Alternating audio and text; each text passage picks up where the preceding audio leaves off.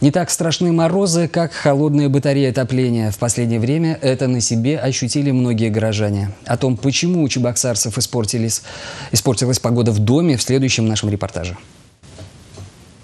Буквально в начале недели городские власти отчитывались о том, как обстоят дела с теплом в квартирах горожан. Мол, на данный момент отопительный сезон проходит без особых проблем и серьезных технологических отказов.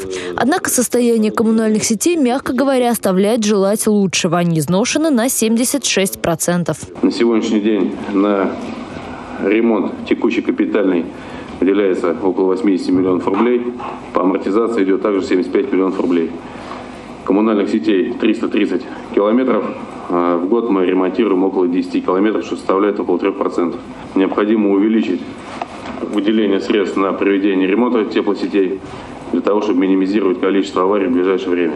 Подтверждение словам главы администрации нашлось в тот же день. Популярные городские форумы запестрели сообщениями «У нас нет тепла». В понедельник после обеда появились фотографии с места событий по улице 139-я стрелковая дивизия.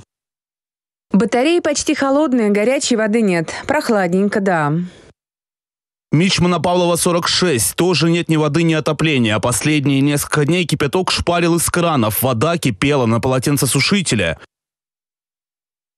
По Мичмана Павлова 54 отопления нет. Текут соединения труб батареям во всех комнатах. Хорошо дома оказались. А кого дома нет? Соседку топит с верхнего этажа. Приезжали аварийщики, сказали, у всех так. Подобные посты 27 января могли написать сотни горожан. Из-за аварии без тепла и горячей воды остались 47 домов, 7 детских садов и 3 школы. Но несколькими днями ранее, 24 числа, о том, что батареи стали холодными, сообщали жители Новоюшки. Время 18 часов, отопления нет. На улице уже минус 20, в квартирах холодно, на термометре в домах всего плюс 17, у кого и ниже. Тепла нет в домах, пенсионеры и дети мерзнут в Новоюжном. Тревожные сообщения в интернет-сообществе появлялись и сегодня. К примеру, вот что происходило недалеко от торгового центра «Семь холмов». А затем без горячей воды остались жители улицы Эльгера.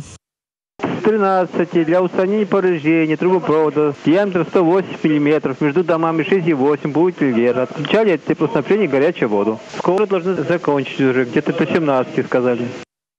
Кстати, узнать подробности аварии у тех, кто занимается содержанием тепловых сетей, у нас не получилось. На сайте компании указано, чтобы взять интервью, нужно заранее, а именно за 24 часа до предполагаемого интервью подать заявку в пресс-службу.